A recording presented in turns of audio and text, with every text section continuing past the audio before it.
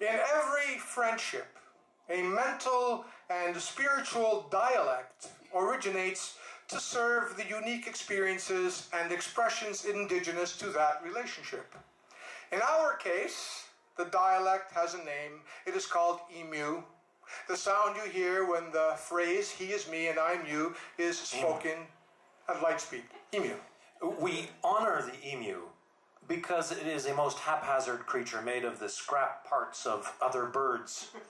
It stands to the left of nature as a kind of marginalia, one of God's notes on creation.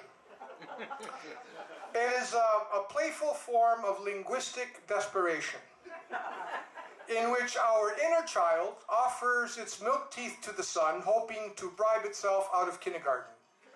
It is the same child picking up a seashell, running naked in the sand, robbing the beach of its ice cream. Now, there's a bit of a note to the reader of this, this book. Uh, If you read this book, we just have a little note for you.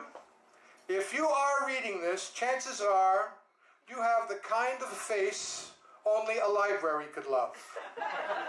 and you're not dating much. So stay home, cuddle up with our words, and grow a second navel.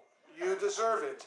If you do not grow a second navel, there's no refund. I am sorry. Or maybe you haven't read the book properly, I guess. That could be. Or Let's maybe go back you to start already have a second navel. Let's, Or three, don't live it. let's not live at the navel. navel.